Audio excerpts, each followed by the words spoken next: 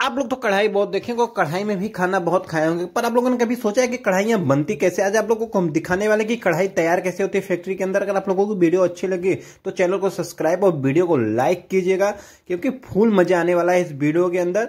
Full video आप लोगों को चैनल पर देखने को मिल जाएगी।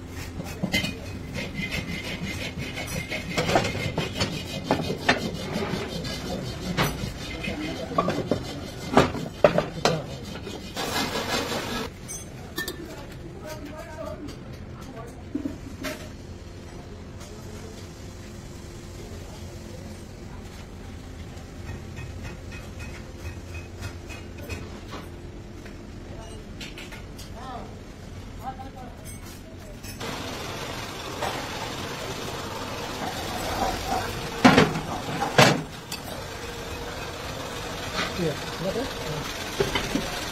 Cuidado. cuidado.